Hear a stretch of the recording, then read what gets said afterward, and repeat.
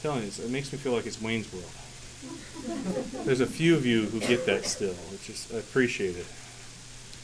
One of my first dates was going to Wayne's World. Isn't that crazy? That's how old I am. Right. I was. It was. It was one of those things where like I was with this girl, literally a girl, and her mom was there. so like, sat between us. You know, it was pretty awesome. Anyway, you don't need to hear that. Okay, so that's our likelihood function. We we used one observation, so we had this one term in our function, and we didn't know mu, so we put it in. We put in all values of mu, and we found out the most likely value happened to be 112, and lo and behold, that's our sample mean for one observation. Pretty cool.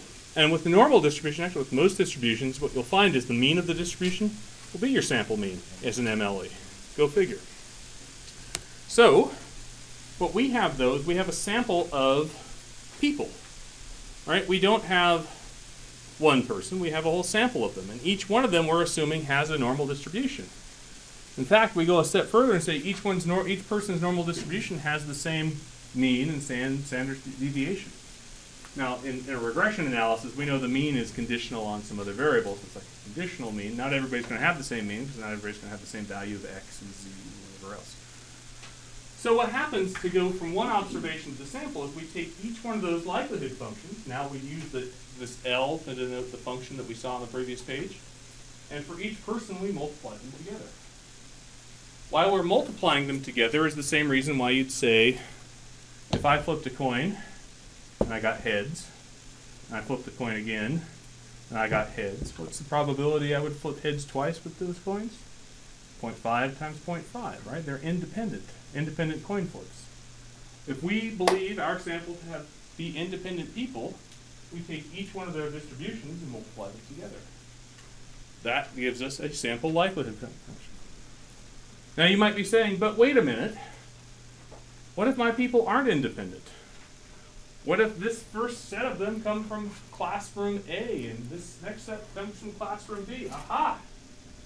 That's where we have to change the model out. We have to get into a multi-level model. We have to change the distribution that goes with it. But the same process still holds. Right?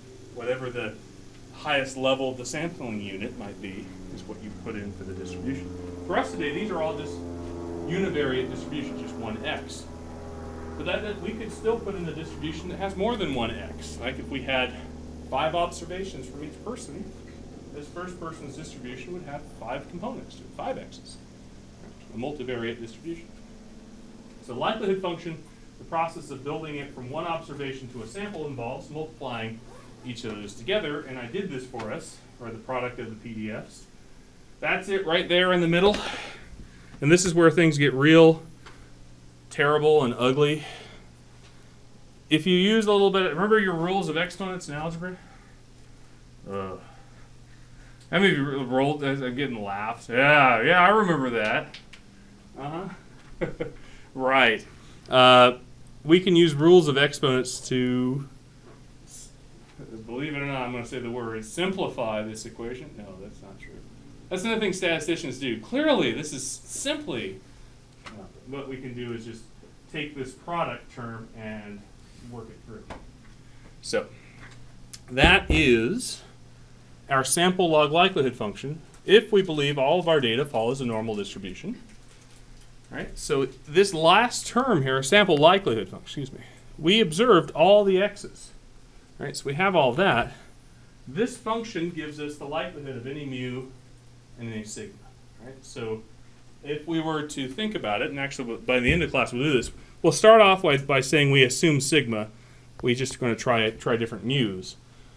But by the end of class, we'll do them both. It's like having a, a surface in two dimensions to find the peak of, right? Try out all the mu's while you're trying out all the sigmas, and so you'll have this function that shows up in two or three dimensions, really. How we doing?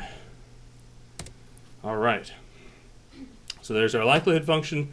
We don't know mu and sigma. Our goal is to figure out mu and sigma that give us the most, the, the peak, the highest likelihood. By the way, for those of you who've taken calculus, the word ma maximum shows up in calculus a lot. There's usually a derivative involved we could do that and actually for a lot of the statistics that we'll use, that we've used up to this point, they have done that and they're already done, but not everyone can use that. So We'll get there in just a second. You'll see that in just a bit. We're doing more of the brute force because calculus isn't a requirement for this class. Um, so there's our likelihood function. So if we know that the variance is 5.29, we now can go and try out values of mu again. Right? The difference between this plot and the plot I showed you a few slides ago is that a few slides ago we had one observation. Here we're using our whole sample, which is actually five observations, but still a fairly small number just to see how it works. So this is the likelihood function. The maximum of it happened to be at a very small number, 1.67, uh, and I don't even know how to pronounce that. That has moved the decimal six places to the left, right? It's really tiny. But that's the peak, and it happened to be at 114.4.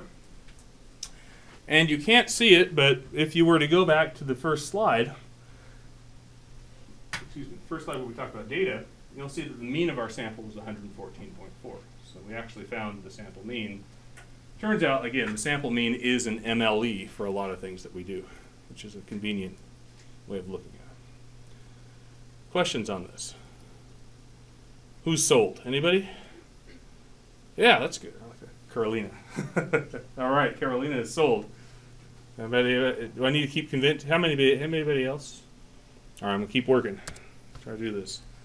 Now, the likelihood function sounds nice and all well and good, but often what we see in program output is not the likelihood function; it's the log likelihood function. So that ugly function that we had before, what we're gonna do is make it uglier. We're gonna take the natural log of it and work with that instead. We do that in part because uh, the logs are somewhat numbers that are farther away from zero, generally speaking. So in our computer, uh, we have a little bit more numeric stability to them. It's also a little bit easier to work with if you are trying to do the analytic side of this, the calculus side of it. It's a little bit easier to work with this function. The, the log here, the word log, I'm actually re re referring to the natural log, right? So oftentimes we'll just see log itself, but no, this is the natural log, or the inverse of Euler's, or the E function, the natural numbers. Anyway, I got. Math is not, math is not my thing, I'm sorry. I have to say this with this on the board. My mm-hmm. first math class in college, remedial math, by the way. I nearly dropped out of high school, and it was because of math. I failed a number of them. The professor put this symbol up on the board, and I panicked right? So that's the person when I say math, it's not my thing. That's how I'm coming out. Yet I can now tell you all this, right? So this is where I say, if math isn't your thing either, I know you can do this because I can do this, right? I did this. I did this before. You may not want to do it, and you may not have to do it, and that's fine. It's a different thing, but you can do it. So, anyway, log. We took the log of all those functions. It'd be like when we, the log is nice because it takes a product. The log of a product of things becomes the sum of the log of those things. So this log of the product becomes the sum of the logs. What it works out to be is this ugly function down here. But the nice thing about the log likelihood is that the maximum, right, where the maximum happens is at the same point. Right? So the log the likelihood function had a value that was very close to zero, zero, six, five zeros and one six seven, right? This the maximum of the log likelihood happens at negative 13.3, which is actually the log of that other number. Right? So negative 13.3, not really close to zero. It's actually much more negative than zero. But it's at least numbers that we don't have to put a decimal way out in front. Uh, but you'll note the value that maximizes is, again, 114.4. It's the same value. So the log likelihood is what we often work with. And the log likelihood has some really magical properties. Right? I'm, I'm, you're not done selling maximum likelihood, right? If you thought those three things I showed you before were awesome, I'm going to add one more. Act now. The log likelihood, if we were to go and try two, two models, maybe we had this model here. This is a simple model, but we did it. We, found, we plugged in the variance at 5.29. Let's imagine you say, Templin, where did you get that variance? Like, I know Megan would say this, right? Megan, what, what variance would you pick here? Megan's variance, the Megan estimate. No, you're not going to play. Five, right? So if Megan chooses 5 and I choose 5.29, which one would you prefer? How would you tell? What would you do? Could you tell that one was better or worse than the other? How would you do that? Our log likelihood will help inform us on that. Although that example is not as good as on the fly example, that probably is going to break down eventually. But that's the concept. If you have two models for data, one way that you can help compare them is that log likelihood, although it gets twisted. It is a function of the log likelihood that does it. So, so, but let's not do that. Let's not let's not let Megan and I argue about variance. I mean, I, am your co-advisor. There's plenty of things we'll argue about now. Especially about variance. Especially about variance. Um, I'm a terrible person, but. Uh, they're all they're all nodding their head. That yeah, this is my program students over here. This is why I know I had the rapport with them. They've been in grad school a while, so if you you'll have that rapport too. It's okay. You'll know I'm a terrible person too. Um, gosh, uh, the the variance itself was uh, we didn't observe that. It's not likely to in practice. Nobody walk, walks around with a variance of oh that's 5.29. I know what that is, right? So you need to figure out all of the parameters of your estimate. And uh, that, that likelihood function, again, we could do it in two dimensions. That's what I was mentioning about. We know x, but we don't know mu and we don't know sigma squared. Okay, instead of just searching over x now, we'll simultaneously search over sigma squared. Like for every value of x, we can try a range of sigma squareds. Right? And that's what you see here. This is mu, or the mean. This is sigma squared or the variance. And for every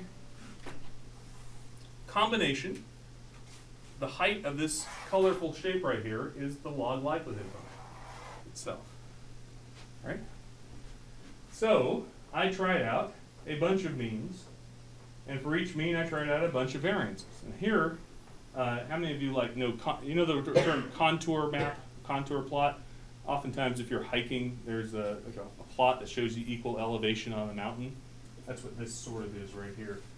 This plot right here shows lines of equal height on the likelihood function, right? So here is a bunch of means, here's a bunch of variances, and this, the line represents values of the mean and variance that give you the same likelihood, right? So there's a peak to all of it here. This is an interesting function for several reasons. Number one, we can figure out the peak. It doesn't look like there's one. It's very flat. It's kind of ridged. And the reason for that is we have five observations. Right? To get a variance, the minimum number we have to have is two. Right? So we're like three above the minimum. There's not a lot of information about our variance. And actually, what we're going to find out in later classes, the curve, the curvature of this function right here, like here for the mean direction is really curved the variance direction is very flat. That's going to help us talk about how certain we are of our estimate. So this function has a peak. It's hard to tell. It's right in the middle of this. Its peak's at negative 10.7 for the log likelihood. Again, that number by itself, eh, but when you compare it with other, other values, it may mean something. The estimates that brought about the peak was a, a mean of 114.4 right here and a variance of 4.24, which is right here in the center. Right, so we searched over both directions. Now, if you go back to the slide at the beginning, you're going to say, wait a minute, the variance we've been using this whole time was 5.29. Why is it 4.24? Ah, that's because in MLE terms, your most your MLE for the variance is like taking that variance formula and dividing by n. Whereas 5.29 was that formula divided by n minus 1. And with five observations, there's a big difference between the two. We had 500 observations, it'd be very small, very small difference between the two. Right. So this, for a five observation sample, this MLE is like saying it's not really close to infinity. Because there's a big difference between what the it's biased. How are we doing? I'm introducing several concepts here. Number one, we can search over two dimensions. Number two, uh, we found these two values that gave us the maximum. But one of our dimensions is relatively flat and one's very peaked. Right? the, the, the curvature of the likelihood itself tells us how certain we are. We're more certain that the mean is 114.4. We're less certain that the variance is 4.24. And the last concept we talk about is in MLE, when you're using a normal distribution, the variance comes out as being divided by n, not n minus 1. Or in regression terms, n minus the number of parameters estimated. That is the reason why I have to teach you path analysis, which uses ML, or divide by N, and then go and teach you the same thing, but in mixed model software, which uses a different version of ML, residual maximum likelihood, that gives you an unbiased estimate of this variance. That's coming up later on. So this is just foreshadowing as we go on down the road. How are we doing? What's it mean to you? Put it this way. If you're using path analysis software, you may have bias in your variance estimates, which bias a whole lot of other things. If you're using mixed model software, you may not have the bias, but you can't do as many fun things that you can in the path model. So now you have to choose. We theoretically could put the two together, but we've yet to do so in an easy to use manner. So that is why this class exists. It's multivariate. Each of those methods I'm talking about are multivariate methods, but they rely on maximum likelihood, or versions of it, residual maximum likelihood. Okay, questions? So you can take my R syntax, you can do that grid search. We call this a grid search. I'm literally trying out incremental values of mu and sigma squared. It's a very naive way of trying to find your parameters. Naive in that, uh, maybe not naive, brute force, right? This is something that you would do, it would be here forever if you had a real complicated model. Right? I sort of knew where to start, so I sort of guessed around there to give you a shape. Right? Realistically, we may not do that. What we may do is use some calculus. I'm just going to briefly talk about calculus here. Right? One of the the uh, the issue that we have here is uh, to find a maximum. It's like saying if we were to find a line that's tangent to our curve. This is our MLE, our maximum, our maximum. This is our likelihood function, our log likelihood function. A line that's tangent to it is a line that touches at a very infinitesimally small point, right? The slope of it. If we could find a line with a slope of zero, that would indicate we're either at a maximum or a minimum of this function. And that's, and that's calculus. The slope of that line, that tangent line, is from the first derivative itself in calculus. So for us, we can use that to our advantage. And here is a graphic. We can figure out, if we could figure out where the slope becomes flat, we could figure out whether we're at a maximum or a minimum. With some more calculus, we could tell actually if it's maximum or minimum and so forth. Lucky for you, all the models we use in this class are uh, concave? Upside down U, meaning they only have maximums the minimums aren't there. So we don't have to worry about maximum versus minimum when we find that. But in using that, if we were to take our log likelihood and perhaps take the first derivative with respect to the mean, we could go and get a new function out of it. If we set, this is this function, this is the slope of the line that's tangent. That is, that is this line right here. Is the likelihood function with respect to mu, and that's the line that's tangent, the slope of that line is given by this thing. So if we set that equal to zero and solve for mu, we get our MLE. So how does that work? Our, if we do all that, or we find our MLE is 1 over n times the sum of x, the sum of x over n, which is pretty cool. Right? We did the brute force method and then calculus comes in and says, oh, look, we can just do this in a couple lines and whatever else. You know those people who know calculus, right? I'm going to point. Those of you who know calculus, oh, yeah. How nice, right? We can do the same thing for the variance. It's a little bit more complicated, but you'll see the variance function that we find for the MLE as the sum of x minus its mean squared over n, not over n minus 1. And that's where our bias comes in this MLE. So you're saying, wait a minute, one of the properties of maximum likelihood were that asymptotically it was consistent, it become its true value, right? Well, because that asymptotic means n goes to infinity, so this n and n minus 1 are indistinguishable in the limit. That's where that comes from. So, calculus, if we have a function like that, we can use calculus. We call the we call if we could come up with one equation to give us a maximum likelihood estimate, we call that a closed form. Right? There's one solution. We know what it happens to be. Uh, if we can't, and a lot of the stuff that we're going to do in this class, when we get to multivariate models, we can't. Um, we have to search. We'll talk about that in just a slide. One more thing we can do, though, is we can take, if we figure out, if we wanted to figure out the standard error of our estimates, right, or the variance of it, if we took the second derivative of that likelihood function, we would end up with the observed information matrix. And uh, if we take the inverse of that times negative 1, we get the variance take the square root of this thing, we get the standard error. Now remember the standard error of the mean? The people in basic stat, you have this thing where you'd say, oh wait, I have a mean, and if I did this sample over and over again, the same sample size, and I jotted down all the means, they'd form a normal distribution. That was a central limit theorem. The standard deviation thing of that, that, that thing was supposed to be the standard deviation of the sample over the square root of n right? That's the standard error of the mean, and calculus gives us that right? So we, we see the actually where that comes from for it. One thing I will note, if you have a function that's not closed form, and you want to find the peak, what our packages do, what our software will do in R, or in SPSS, or whatever package you like to use, is they will start off with a guess right? They'll put you in, they'll say, oh, I'm going to guess the value of negative 1 here.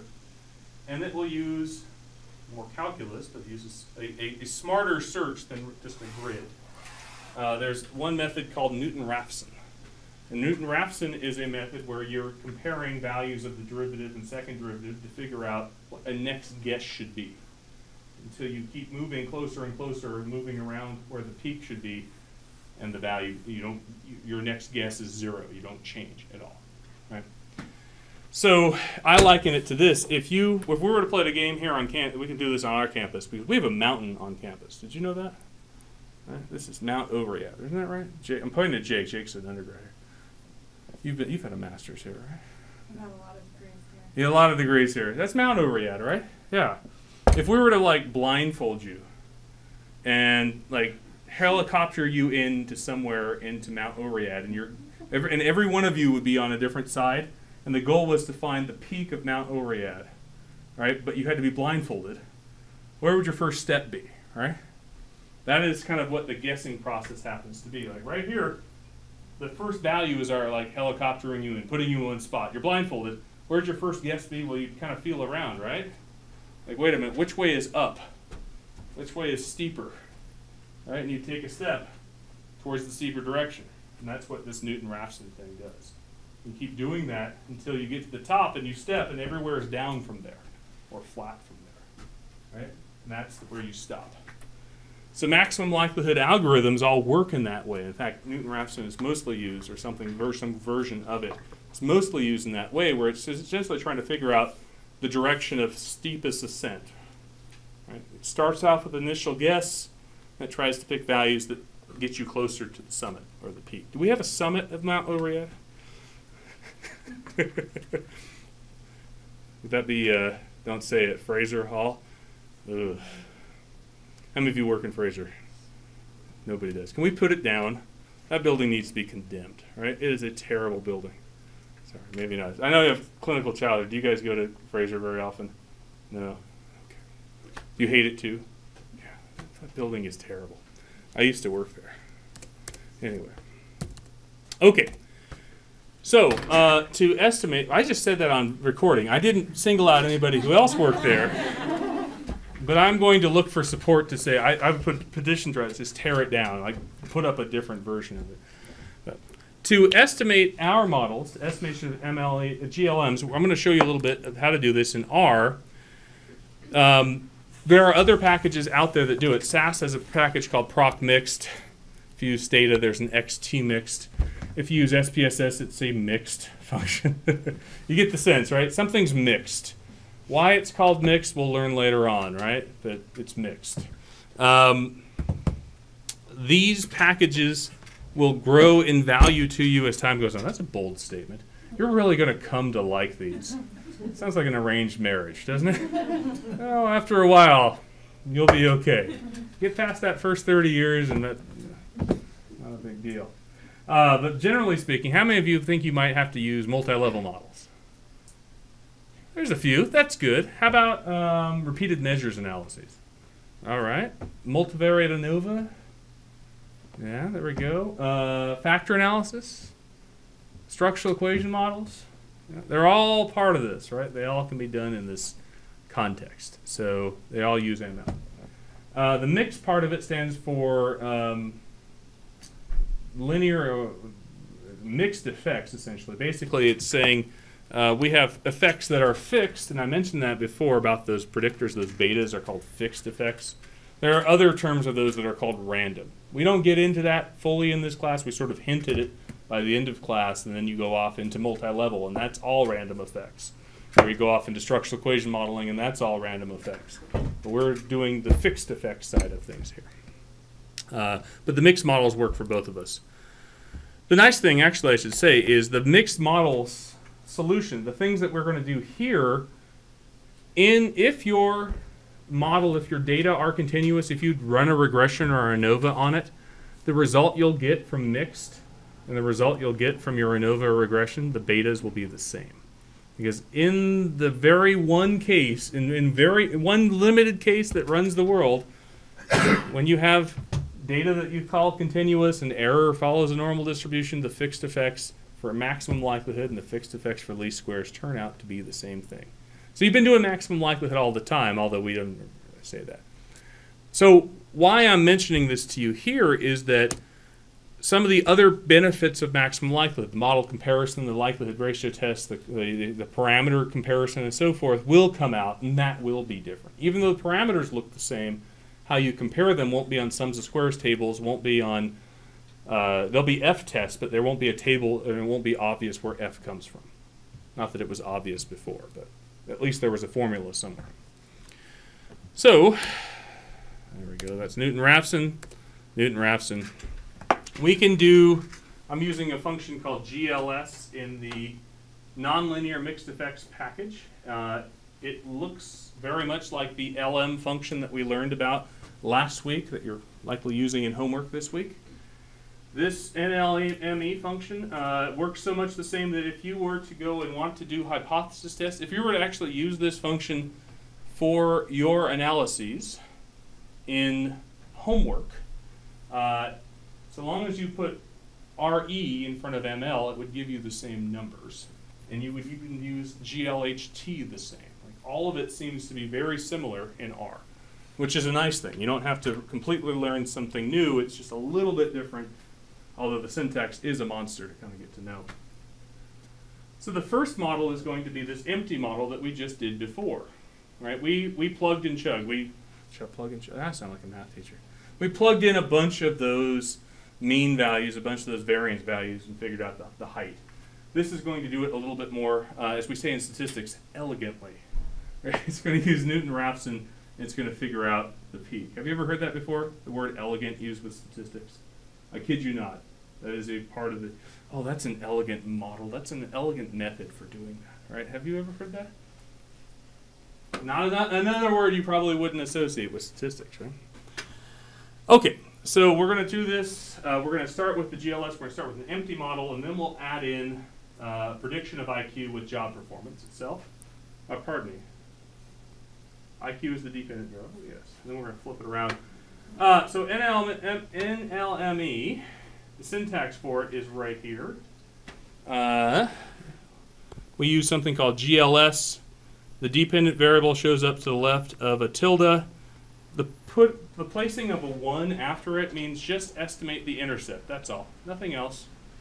which is really kind of stupid. If you're looking up other syntax out there, not a lot of people estimate empty models, but I like them. They're a good place to start for data. And here, if we put method equals ML, that's an option in the program. We call it an argument to a function. That makes it so that this GLS function does what we just did in this class with ML. Its default is the unbiased version, residual maximum likelihood. But we're not, not there yet in instructions, so I'm going to teach you ML first, okay? So, we put this in to this statement.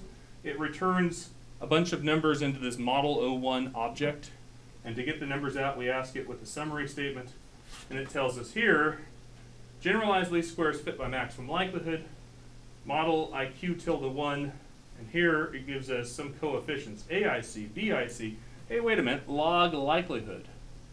That's a good one. We saw that one before, and you'll note the log likelihood that it gave us was the log likelihood that ended up from the grid search where I found mu and sigma squared. Right? The estimated value of, of, of the estimate, this is the beta zero, or in an empty model, the mean of IQ, it's 114.4, which we found as well. Okay, so it's doing the same thing with our data.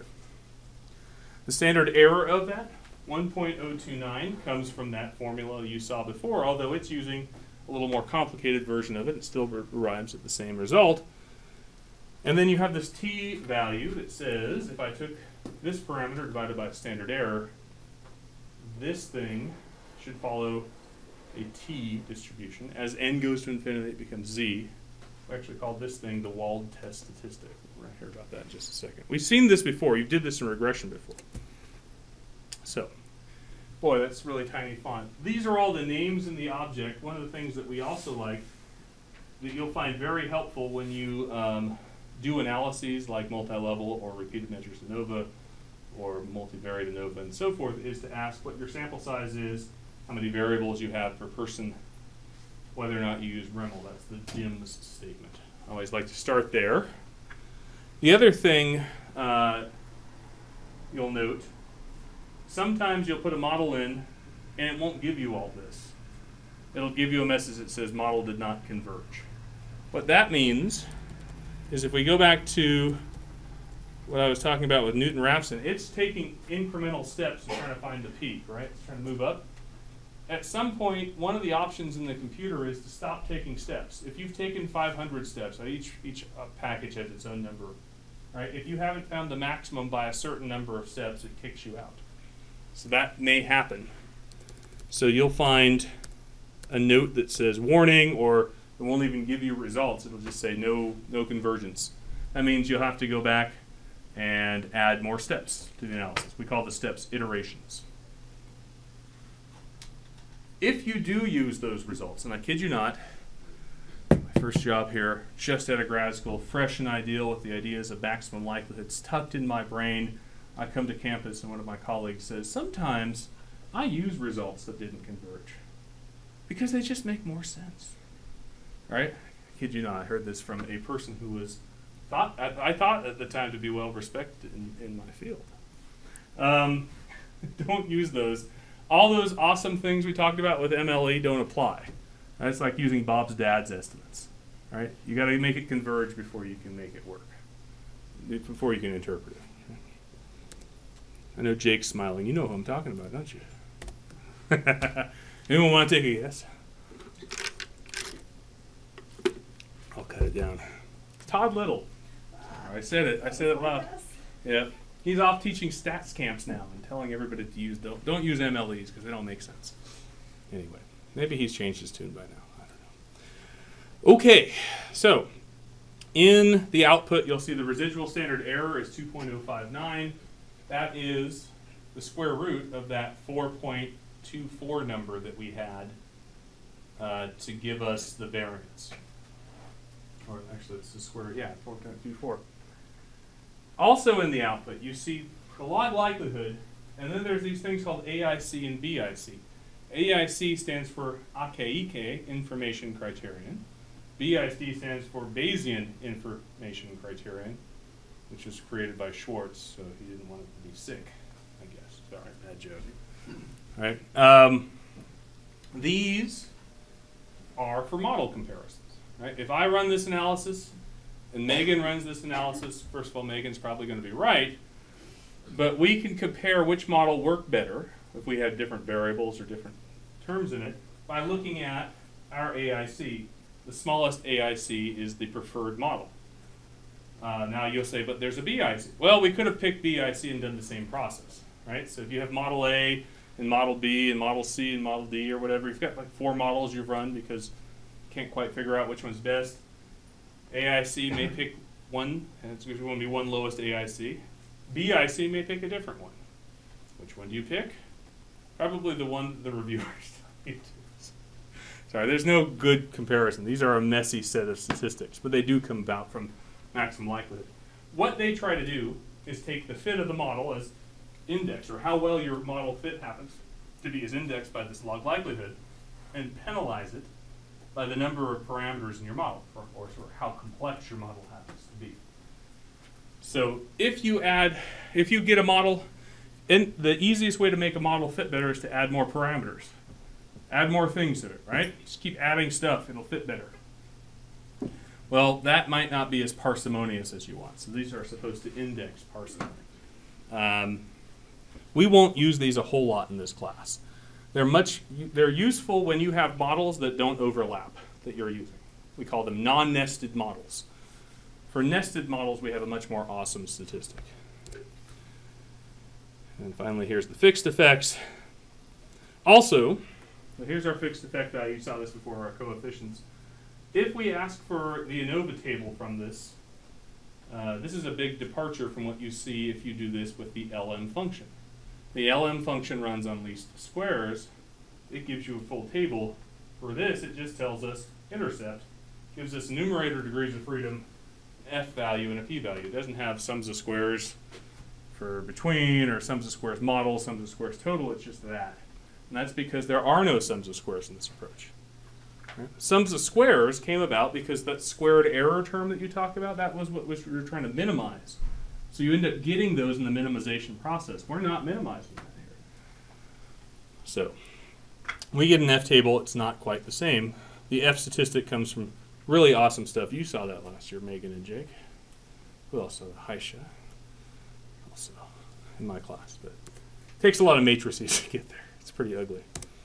Okay, so let's talk about some of these useful properties real quick. Actually, let me stop. Questions. Do I have any more converts?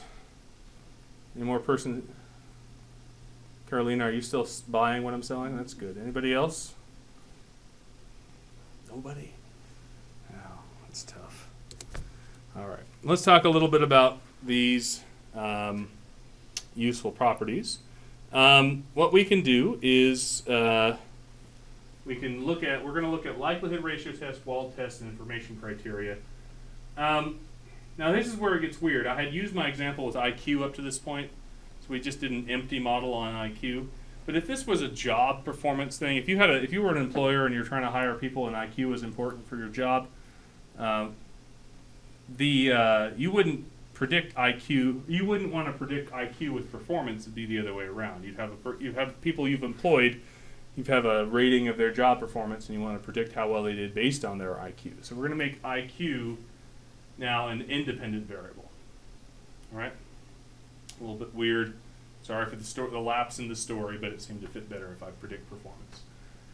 All right, so we're going to estimate two models now, right? And these will both be used to demonstrate how the estimation here will differ from our least squares estimate that we've seen up to this point. The first model we're going to estimate is an empty model, so this should give us an intercept, which would be the mean job performance, and a residual variance that would be the variance of that job performance. And then we're going to put a model together where we add mean-centered IQ to the analysis, right? Take IQ and subtract off 114.4. So what we're going to see with this is we're going to be able to tell, because these models are nested in that, if we were to take beta 1 and set it equal to 0, this more complicated model would all of a sudden become the simple model, the intercept model. Right, that, is, that is a situation where we would call these two models nested. We can use this likelihood ratio test to compare which model fits the best. We could also use a Wald test to test whether or not each parameter was statistically different, significantly different from zero, although you've sort of been using those all along in regression if you look at the, the coefficients table. And we can also take a look at information criteria. Okay? All right, so here's the first model. Per performance, perf. Perf tilde 1, that's an empty model. We get a summary statement from it. Uh, and then if we mean center IQ, we get perf tilde IQ 114. So I created a variable named uh, in R syntax, whoops.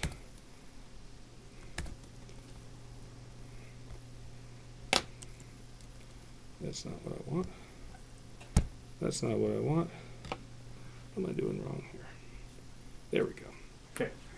Here's our syntax for you, right? This this first line, I did this for you in homework when that starter syntax, and I'm just to keep talking about it. I'm creating a brand new data variable in the data set data 01. So it's data 01 dollar sign IQ 114, and that's just going to be equal to a person's IQ that's in data 01, uh, where we take 114.4 and subtract it from it. That's our new variable. So now, when we put in the variable into GLS, performance will be tilde IQ 114. You'll note the 1 went away.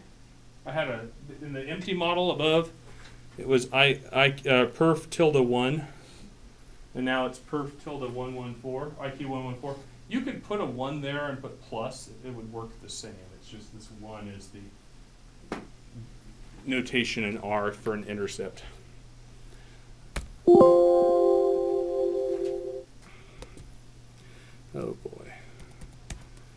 Templin, Templin, Templin. Let's do this. And this one. Bless you. And this right here. Okay. Now close enough. So, questions in comparing between these two models.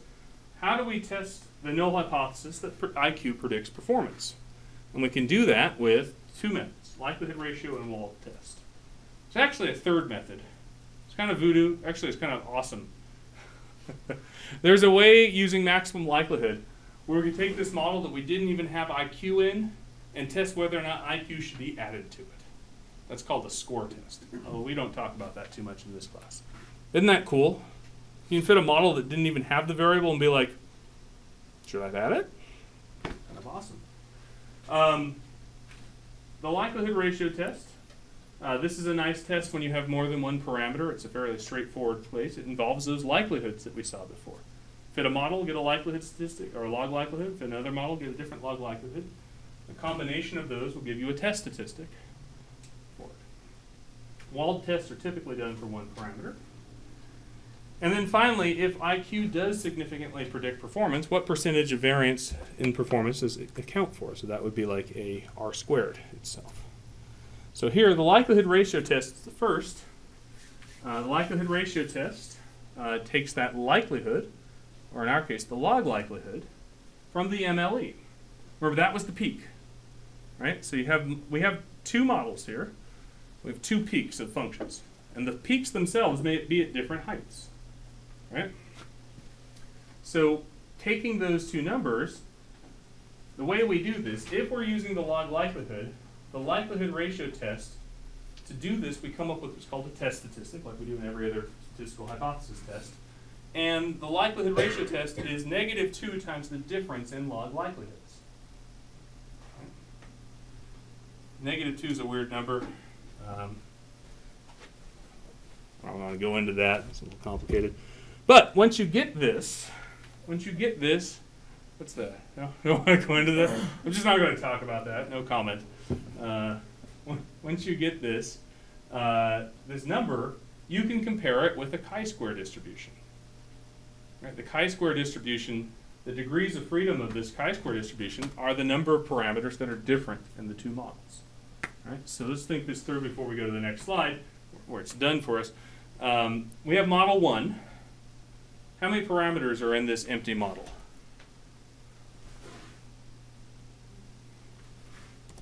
We have a beta 0 here. That's one of them. That's, how, that's one estimated value.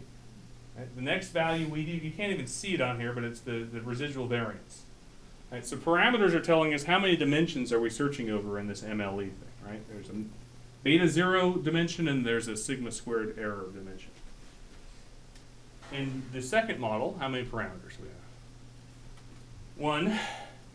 Now we have beta one, that's two. And we have sigma squared error, that's three. There's three dimensions. So model one, or this is what we're calling model two in my code, the empty model has two parameters. The model with IQ in it has three. The difference in parameters will be one. So this is going to be our log, our likelihood ratio test will be compared to a chi-square with one degree of freedom. So here we do. So in this analysis, if we're thinking about it, we have two models, right? We had the empty model, and we had the model with IQ in it. And the way we got from the more complicated model to the simpler model is by setting one or more parameters equal to zero. That thing that we had to set to zero is going to become our null hypothesis. Right? In this hypothesis, a likelihood ratio test is going to test the hypothesis that the things that you had to set to zero or set to constants would have to be in place to achieve the simpler model. So there's always, in a likelihood ratio test, two models. There's a null model, and there's an alternative model. The null model really comes from the null hypothesis, right? Take the alternative model and enforce the null hypothesis. Our alternative model had beta 1 in it. We make the null hypothesis true, beta 1 goes away, and that's our null model. So we have the null model. There's one intercept, one residual variance. We have our alternative model, one intercept, one slope, one residual variance. So the difference in parameters is 1, 3 minus 2, and there's 1 degree of freedom. So here, here's our log likelihood from our null model, negative 10.65858, 65848. And our log likelihood from our alternative model was negative 3.46. So we took the difference of those, multiplied them by negative 2, we see we get a value of 14.4. Furthermore, we could go and compare that. This is the chi-square value that comes from it, the degree of freedom one. Don't have to memorize this because I'm going to show you real quick on another slide that R will do this for us automatically. so this is the hand calculation behind it. 14.4 gives us a p-value of 0.00001, so we would go, just like in all of our hypothesis tests, with a p-value that small, we would reject the null hypothesis, and by implication, we would reject that null model. Right? Because we're saying we need beta 1 to be not 0. So when we say that, we're back to the place where beta 1 is part of our model to describe it. So to me, the neat thing about this is it works for one parameter, or it will work for 500 all at once. Right? So here's the cool thing about R. If you're doing that process in SPSS or SAS, you have to do that all that I did before by hand, and you have to figure out the function that gives you the chi-square tail. Or you can write a macro or take my wife's class and she has a micro where she wrote it for you and everything's good, right? In R, if you put both models into the ANOVA function, remember ANOVA gave us the ANOVA table before? Now look at how it works. It goes and gives you both models, gives you how many degrees of freedom, that's the number of parameters in each, right? Shows you their summary statistics, and then provides at the end here a column that says test. Model 1, this is our empty model, versus model 2. There's our likelihood ratio. That's its p-value. R just sold me. One line of code. It's nice. So you can run multiple models. And when we get into multivariate statistics, you're going to run a lot of models. There's a model building process that you have to go through. So you're going to be putting models together, doing this type of process, and you'll have a table. We'll show you the model comparisons as you go along. So the ANOVA function is awesome. Yeah, Benjamin. So for that, so where does it tell you that model one or model two or model three is better? Like where's the number that you would indicate which model to go with? Ah, okay. So once again, this is this mo- this likelihood ratio test is testing model one versus model two. So if this p-value is small, you're going to reject the null model or the model with fewer degrees of freedom. So it rejects model one, right? And that comes from that idea that what we're do really doing is testing the hypothesis that put us into the null model in the first place, right? To go from alternative to null, we had to go and make beta 1 0. So that means it has fewer terms in it. Does that help? So, in, you might say to me, but Templin, regression and ANOVA, I know how to do this. It was a, what would they call, what Cal call it? Sum of squares change test. Remember that? If you had two ANOVA, two regression models, you could look at the sums of square, the diff, sum of squares differences and come up with a similar test. This is replacing that. This is our likelihood ratio test. And this is a test that's called a, a uniformly most powerful test. How you like that, Jennifer? That same that same minimum variance thing superlative. tells you that for this comparison of models, there's no other test statistic that you can do that will give you a more e- an easier way of determining whether or not there's a significant difference. Things beep, and I'm like, okay, what's what's what is it? It's not me. How are we doing? Questions on on likelihood ratio. So likelihood ratio helps in model comparison of nested models, right? They're nested because how you form your null hypothesis is sort of the directions you have to take to get from all the parameters down to the simpler model, right? The null model itself. That is me. Oh man. Sorry. My kid's calling. Anyway. I've been in the graduate class. Did I tell you this story? I think I did. Where the professor answered his phone, it was his kid, and then he proceeded to to order his kid pizza. He called, like it was like a three-way call, and then it was like, "Yeah, Papa John's is on the line. Can you give me your credit card?" And so he pulls out his credit card. I'm not doing that. For the class, right? I mean, No, no, you need you need to focus. No, just kidding. There's no eating in our classrooms or drinking. Right? so, um, so that's that's that's testing the models themselves. If you have nested models, likelihood ratio test is the most powerful way to test them to detect differences in models. Right? So it will tell you one model is preferred to another to do a likelihood ratio test, you have to have two models, though, right? So it's, it can be con- time consuming, it can be complicated. Another option in maximum likelihood is the Wald's test statistic. The Wald statistic relies on the, the normality of the result. And the way it works is we take a parameter that comes from the MLE, and if we're testing that parameter to be significantly different from some constant, usually this is zero, Right? We take the parameter minus the constant, in this case if it's zero, it's just the parameter, and divide it by its standard error that comes from the maximum likelihood process. The parameter divided by standard error gives us a test statistic that should follow a normal distribution, standard normal. So as n gets bigger and bigger and bigger and goes to infinity, we can compare the parameter over the standard error with a z-table. And that gives us what's called a Wald test. Now you'll, if you look back into our output for the parameters, going back way back here, you know, like 10 minutes ago, um, here's parameter and standard error. It says t value there. That, that, that's the Wald test, but it's not assuming that you've that, that you knew the variance itself, so it's like a finite sample version of it.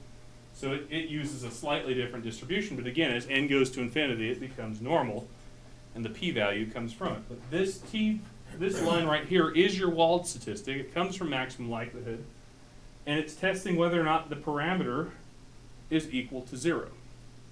So this empty model is testing whether the mean is zero. Kind of a silly test, but we could use the Wald test in our more complicated model if we fit the alternative model, right? And we wanted to test whether or not the slope for IQ was equal to zero. We we saw we did this with likelihood ratio, but we could do it with one model if we plug that in and take a look at the p-value here, right? Here's our slope for IQ. It's 9.9622, whatever. Slope divided by standard error is your Wald test statistic for it. We're going to compare it with a t distribution here. So it's, again, we call it finite sample. And p-value is 0.0058. That p-value is very small. So we would reject the null hypothesis and we'd conclude we need IQ in this model. But there's a uh, significant increase in job performance for every increase in IQ. So wald tests, generally speaking, come from that coefficient of parameter estimates. So we often just use them with one parameter. There are multiple parameter versions of them. Uh, depending on how fancy we get in this class, we may see some. But the nice thing about wald is you only have to run one model to make it work, right? We're testing the same hypothesis, but with one model. So one thing you might be asking is, which one do I believe better, the likelihood ratio or wald? And in the limit, again, if n was infinity, they would converge to the same result. You would pick the same thing, whether you use wald or likelihood ratio. Okay, the final thing is, yes, we know we need beta 1. This is not an ML thing, but we're just going to play with numbers here. If we were to compare our estimate of residual variance, we'd see that uh, the residual variance from our empty model is 4.16, from the conditional model is 0.234. So if we take the difference between these and divide it by the original value, we see that we explain 94.4% of the variance. Those numbers are off. I think I put the wrong number in. Anyway, R will do this. Oh, we can do this in R as well. All right. Finally, um, information criteria show up. Uh, remember, I told you before you could use these to compare model fit. Now, they're not as powerful as likelihood ratio if you have nested models like we have here. Right? But let's pretend these weren't nested. To figure out which model we want, we'd have to look at one of these and figure out the lowest value. So here for AIC, it picks model the second model. And for BIC, it actually picks the second model as well. So if, if we used AIC, we'd pick model the second model. If we pick BIC, we'd pick the second model. They're nice, they're converged, and so forth. Um, don't use information criteria in nested model comparisons. They're not as powerful. Other than that, you'll see them from time to time. Places where you'll see those. Ever heard of mixture models before? Like latent class analysis? Those along those lines. Have you heard of the where you're trying to figure out whether or not you have multiple groups of people in your data that you didn't collect group variables on. If you've heard that. Uh, you see a lot of them used to figure out which solution is best. I don't even know that they're good in that case, but it does happen. So, uh, here's how ML and least squares estimation for these linear models differ. Um, you'll note that the the values are um, ML and least squares are identical for these models. They differ in their estimate of the residual variance itself. Right, and that's that idea in that, you know, from, from least squares, least squares, if we did the LM function, we'd see the residual variance was uh, 0.390.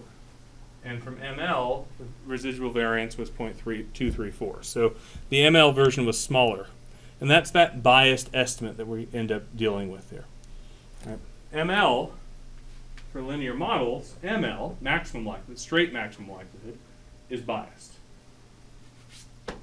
Uh, if you're troubled by this, in a few weeks we will find this new method, newer method, REML. If you really like it, REML.